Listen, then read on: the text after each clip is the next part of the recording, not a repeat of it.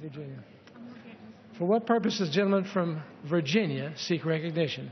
Speaker, I ask you consent to address the House for one minute, advise and extend my remarks. Without objection.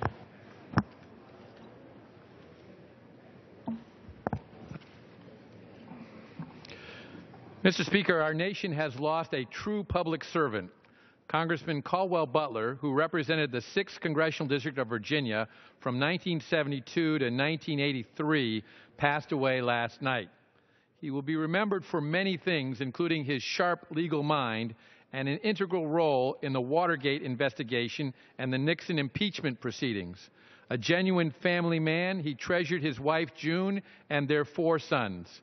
I am especially thankful to have served as a member of his staff many years ago and to serve the same 6th District today. My thoughts and prayers are with the Butler family during this difficult time. Mr. Speaker, I ask that my colleagues join me and members of the Virginia delegation in a moment of silence in honor and in the memory of M. Caldwell Butler.